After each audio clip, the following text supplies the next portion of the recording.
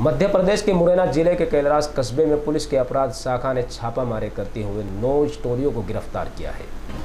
साथ ही पुलिस ने नकदी सहित आधा सैकड़ों मोबाइल फ़ोन और सट्टे में उपयोग आने वाले अन्य उपकरणों को भी बरामद किया है।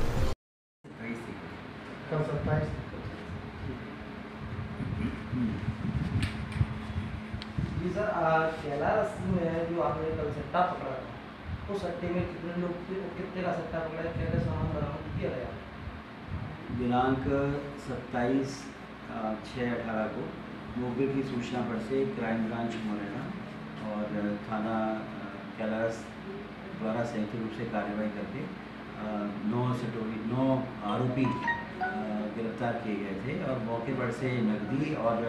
शेष सामान इलेक्ट्रॉनिक्स आदि का सामान, कुल कीमती छः लाख से अधिक का जब्त किया गया था जिसमें से कैश दो लाख सात हज़ार आठ सौ तैंतालीस था। और सामान क्या क्या था सर सामान में एक एलईडी थी एक प्रिंटर था एक नोट गिनने की मशीन थी और